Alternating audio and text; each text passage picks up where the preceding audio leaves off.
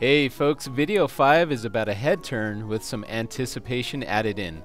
Similar to the previous exercise, you'll need to animate a head turn, but you'll include some motion prior to the larger action of the head turn this time around.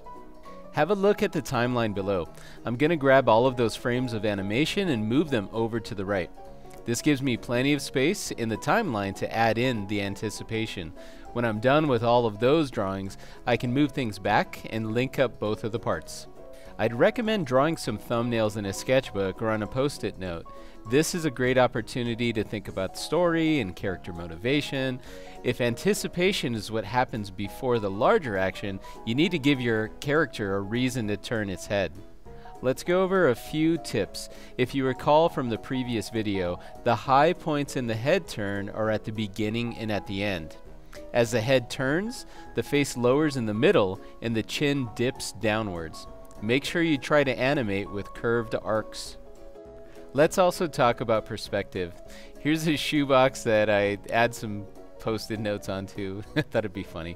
Anyways, take note uh, that the blue and the green eyes are roughly the same size, and as the head rotates, the eye closer to the camera looks bigger. The other eye appears to get smaller. See the difference?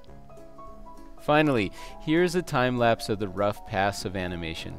Take note of the sketchy line work, the center lines, the equators around the character's head, I can later map out the location of the mouth and the eyes on each frame. I think it's a good idea to duplicate your layers and experiment with different timing before you finish up. Notice I'm not really spending any time doing any cleanup animation. You gotta bake the cake before you decorate it. Alright, here's the reveal and the final rough and the clean passes. Hey, do me a favor, go give this a shot.